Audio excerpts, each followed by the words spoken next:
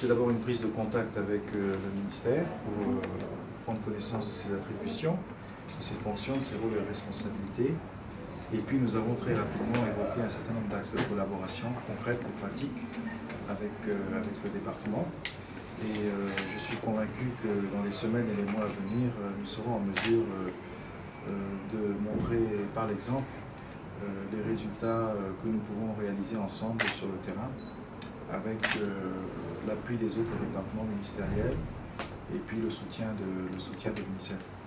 Nous, avons plusieurs, nous avons évoqué plusieurs projets évidemment, mais l'essentiel de nos discussions ont porté sur la nécessité d'avoir des projets qui soient porteurs en termes de création d'emplois pour les jeunes, euh, notamment l'utilisation des volontaires, et, euh, et des projets qui puissent être mis en œuvre assez rapidement.